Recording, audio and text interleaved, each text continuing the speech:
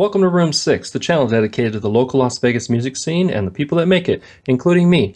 I'm Josh, and on Friday, February 7th of this year, I went down to Backstage Bar and Billiards on Fremont Street in downtown Las Vegas to check out a live show from my recent interview guests, Dirt Halo. You can check out their interview here. With a solo acoustic opener, Dirt Halo laying down some metal shenanigans, and a national southern rock band headlining, the show had a little bit of everything and was well worth the ticket price.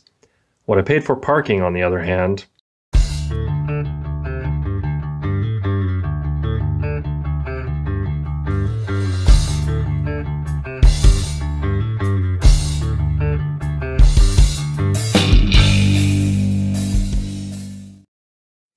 If you're enjoying the content Room 6 is putting up, please make sure you subscribe down there and hit the bell so you don't miss an episode. While you're at it, feel free to like and share.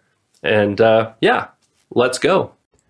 Having already reviewed their EP House of Broken Glass on this channel, link is up there in the corner, I was prepared for Dirt Halo to melt my face off. But first, things got a little mellow, courtesy of Jonathan Salas, a last minute acoustic opening act whose talent and range had the crowd singing along to familiar cover songs and enjoying his originals. And then came The Rock. Dirt Halo had a decent contingent of fans there just waiting for them to take the stage, and the boys wasted no time in getting down to business.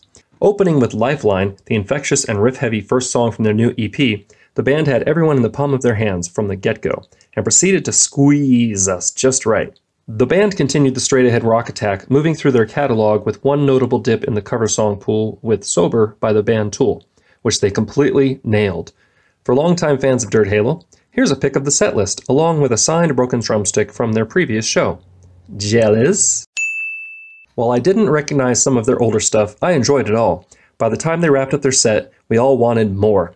Unfortunately, the price you pay for the coveted middle slot at a show is having to stop when they say you're done.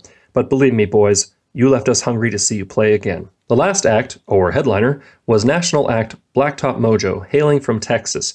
They drew a surprising amount of local transplants that knew them from back home.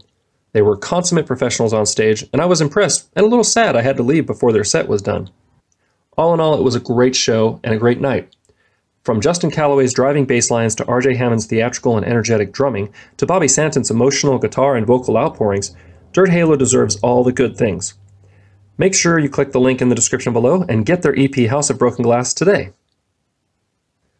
Thanks for watching. I hope you enjoyed and that you'll check out Dirt Halo's EP House of Broken Glass by clicking on the link in the description below. In the meantime, if you want to check out more from them, click here. If you'd like to subscribe to this channel, please click here and don't forget to ring that bell. Remember to be amazing and we'll see you next time on Room 6.